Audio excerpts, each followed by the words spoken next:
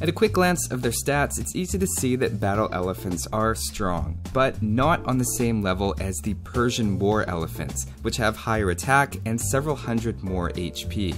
With most stats, battle elephants actually tend to split the difference between knights and war elephants, which is also reflected in their cost. Sziasztok, és nagyon sok szeretettel köszöntök mindenkit. Az előzetest már elemeztük, de van még 14 mondhatni új kép, amik a második részből vannak. Szóval, nézzük.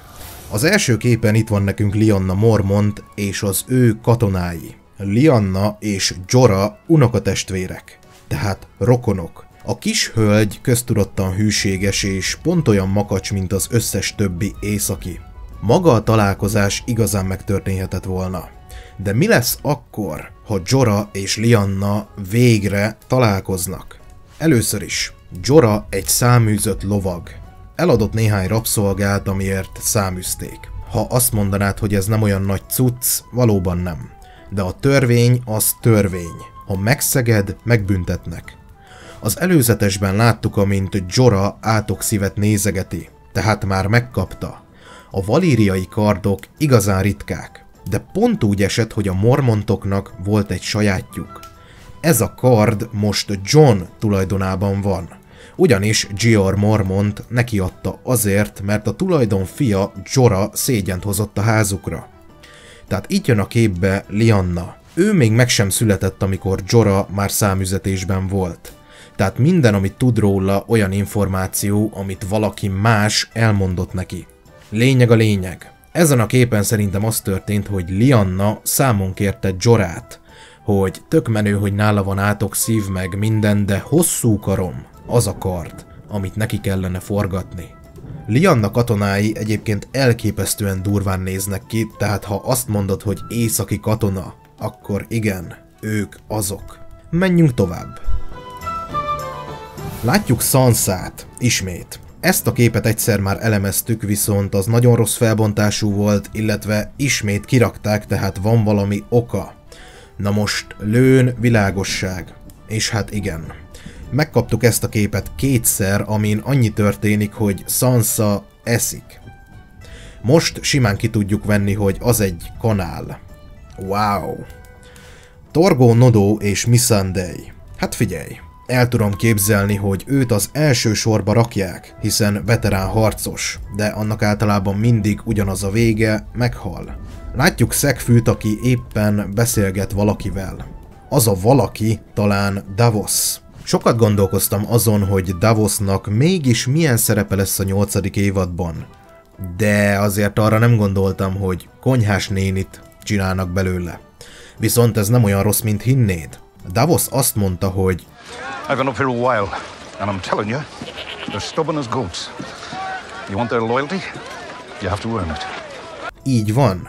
Ő egy csempész. Tehát nem kalóz, meg nem Jack Sparrow, hanem csempész. Jóformán senki nem ismeri, ami arra utal, hogy nagyon jó abban, amit csinál.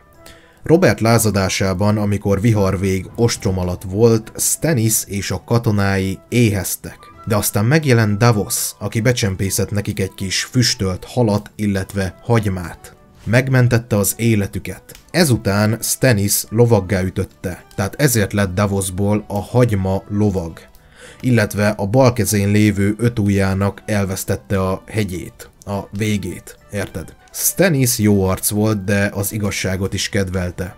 Tehát Davos címe az ételhez kapcsolódik. Most azon fáradozik, hogy elnyerje az északiak bizalmát. Tehát egyértelmű, hogy segítkezik az emberek etetésénél. Ez egy nagyon szép kis utalás. Menjünk tovább. Látjuk Tyriont, aki kicsit büszke magára és nagyban iszogat. Ezen a képen semmi érdekes nincs. Na, na, na, na, na. Azt hitted mi? Látod ezt? Ez egy gomb. Egy kardnak a gombja. Az a kard özvegykönyv. Ez azt jelenti, hogy ő ott Jamie. Tehát ez a kép, amit már láttunk, megkapta a másik felét. Jamie és Tyrion felidézik a régmúlt idők emlékeit, pontosan azelőtt, hogy mindenki meghalna. Tetszik? Látjuk Brent és ezen a képen tényleg semmi érdekes nincs. Sam és John, akik éppen deres védelmét tervezik. Ennyi. Na, na, na, na, na. Ez egy kar. Ismerős? Igen, az Theon karja. Tehát Theon elérte Derest. Az ő élete igazán érdekes. Greyjoy Stark. Greyjoy bűzös. Greyjoy Stark. Tehát most éppen Stark. Nagyon király. Ha már Jara felvetette az ötletet, most már van egy biztos tervük arra is, hogy ha Deres elesett, akkor visszavonulhatnak Pike-ba. Ez a kép az előzőhöz kapcsolódik, és annyi érdekesség van benne, hogy Varys baloldalán ki van takarva valami. Vagy valaki. Meglátjuk. Aztán a puzzle harmadik része. Tehát a haditanácson ott van Aria is. Mint látjuk, Johnnál van egy tör. Ez a tör már az első részben is nála volt, nem mondom, hogy van bármi jelentősége, viszont aminek van jelentősége az az, hogy a Starkok páncélját levette. Nem szabad. Látjuk Jamie-t, amint éppen arra készülnek, hogy megskalpolják, ezt már megtárgyaltuk az előzetes elemzésben. Látjuk Denit, és ezt is megbeszéltük már. Brent ismételten kint felejtették, és ha már ott van, nyomhatnánk valami látomást. Tehát szükségünk van látomásokra. Teóriákat kell gyártani.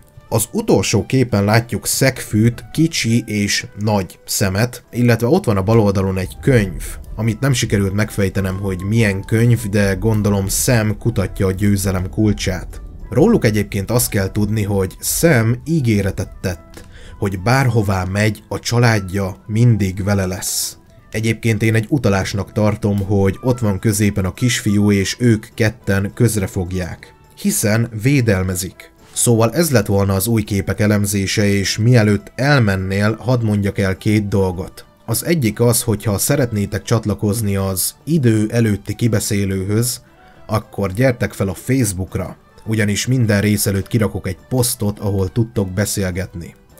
A másik. Nem biztos, hogy ott leszek, de ha nem tudok elaludni, akkor ismételten együtt nyomjuk. Igen. Köszönöm szépen a figyelmet, sziasztok!